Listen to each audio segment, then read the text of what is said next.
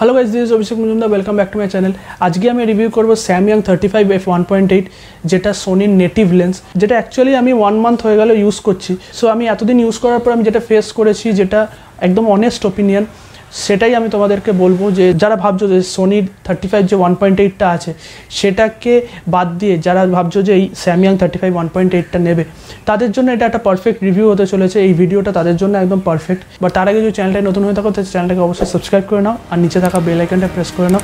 So চলো ভিডিওটা শুরু করা যায় সো ফার্স্টে আমি সেই প্রো সেকশানে তো প্রো সেকশনের ফার্স্ট পয়েন্ট হচ্ছে যে, এটার image quality considering the price of the lens এই লেন্সটা যে পারফরমেন্সটা প্রোভাইড করে মানে পিকচার কোয়ালিটিটা ডেলিভার করে সেটা খুবই ভালো considering the price of the lens obviously Sony thirty five one point এইটের মতন পারফরমেন্স প্রোভাইড করে না।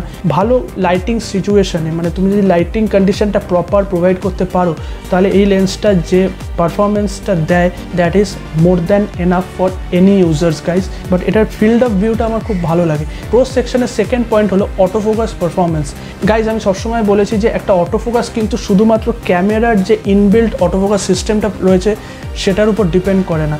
সেই অটোফোকাস সিস্টেমটা যতটাই পাওয়ারফুল হোক না কেন, তোমার যদি লেন্সের সাপোর্ট তার সাথে ভালো না থাকে, তাহলে তুমি সেই অটোফোকাসের যে ফুল অ্যাডভান্টেজটা তুমি কখনো ইউজ করতে পারবে না। যে যাই বলুন না কেন, এটা সবসময় জানবে যে কোনো ব্র্যান্ডের যে নেটিভ লেন্স হয় সেটা সবসময় বেস্ট পারফরমেন্স প্রোভাইড করে। সো সেই দিক থেকে দেখতে গেলে এই লেন্সটা কি সোনির নেটিভ লেন্সের মতন পারফরমেন্স প্রোভাইড করে? আমি বলব যে seventy five to eighty percent অব্দি প্রোভাইড করে গাইজ যে পারফরমেন্সটা এটা অ্যাকচুয়ালি প্রোভাইড করে এই লেন্সটা এ সেভেন থ্রি বা এ সেভেন ফোরের সাথে, সেটা আমি বলব more than enough for any users যারা ওয়েডিংয়ে কাজ করো, তাদের জন্য মোর দ্যান এনাফ ইভেন্টে শ্যুট করো, তাদের জন্য তো মোর দ্যান এনাফ আমি এটাই বলব। ফ্যাশন স্টুডিও শ্যুট তাদের জন্য এই লেন্সটা more than enough now pro সেকশনের থার্ড পয়েন্ট হচ্ছে ওয়েদার সিলিং প্রোটেকশন আমি এটা এক্সপেক্ট করিনি যে এই প্রাইস পয়েন্টের লেন্সের মধ্যে ওয়েদার সিলিং প্রোটেকশন থাকবে।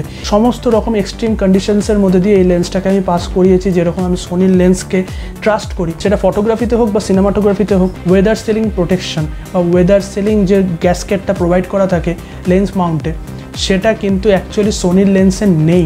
মানে আমি যদি বলি খুব স্লাইটলি এখানে দেখা যাবে যে মানে খুব পাতলা একটা কোটিন প্রোভাইড করা আছে রাবারের যেটা হচ্ছে ওয়েদার সিলিং প্রোটেকশানের জন্য।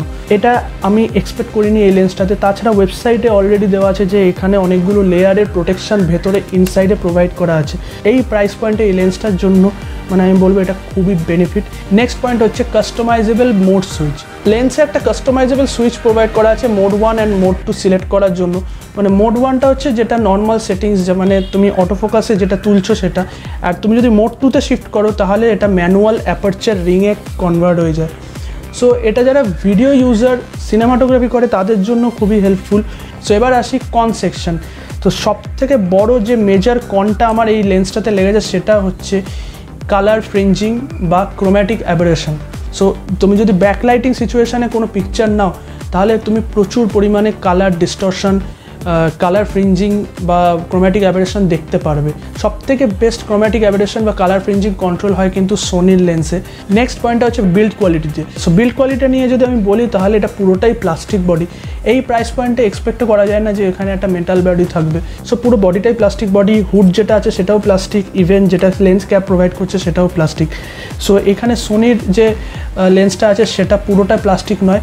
সেটা প্লাস্টিক অ্যান্ড মেটালের কম্বিনেশন সো আমি এটা বলব না যে তুমি এটাকে যে কোনো এক্সট্রিম কন্ডিশনে এক্সট্রিম ওয়েদার কন্ডিশনে তুমি ইউজ করতে পারবে। বাট একটা সবচেয়ে বড় প্লাস পয়েন্ট হলো যে এটার ওয়েদার গ্যাসকেট প্রোভাইড করা আছে, এটা একটা খুবই প্লাস পয়েন্ট বাট তাও আমি বলব যে এটাকে তোমরা একটু কেয়ারফুলি হ্যান্ডেল করো। সো কাদের জন্য এই লেন্সটা অ্যাকচুয়ালি জাস্টিফাইড যারা অ্যাকচুয়ালি সোনির নেটিভ লেন্সটা যেটা এর থেকে অনেকটাই বেশি প্রাইস বেশি, সেটাকে না নিয়ে তার থেকে অ্যাফোর্ডেবল থার্টি ফাইভ নিতে চাইছো, তাদের জন্য বলব আমি এটা one of the best option এই প্রাইস পয়েন্টের মধ্যে যে পারফরমেন্সটা এটা প্রোভাইড করে আউটস্ট্যান্ডিং পারফরমেন্স এই প্রাইস পয়েন্টটাকে কনসিডার করলে। তুমি যদি ইভেন্টের ফটোগ্রাফি বা সিনেমাটোগ্রাফি করো ওয়েডিং করো বা তুমি ফ্যাশনের ফটোশ্যুট করো, তো তাদের জন্য এই লেন্সটা মোর দ্যান এনাফ আমি আগেই বললাম। সো প্রিটিমাস সব ইউজার্সদের জন্যই আমি বলব যে এটা অ্যাফোর্ডেবল প্রাইসে একটা খুবই ভালো অপশন মানে লাস্টলি একটা কোশ্চেন হতে পারে যে এটা আমি কাদেরকে রেকমেন্ড করব? সমস্ত বিগিনার্স যারা আছে বা যারা প্রফেশনাল শ্যুট করছে, সবার জন্য যদি তুমি ব্যাকলাইটিং কন্ডিশনে পিকচার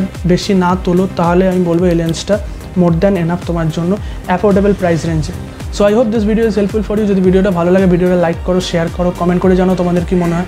এই লেন্সটা তোমরা কতজন ইউজ করছ, তো তোমাদের ফিডব্যাক কি সেটাও তোমরা কমেন্ট করে জানো আর চ্যানেলটায় নতুন হলে চ্যানেলটাকে অবশ্যই সাবস্ক্রাইব করে নাও। দেখা হচ্ছে পরের ভিডিওতে টেক কেয়ার গাইস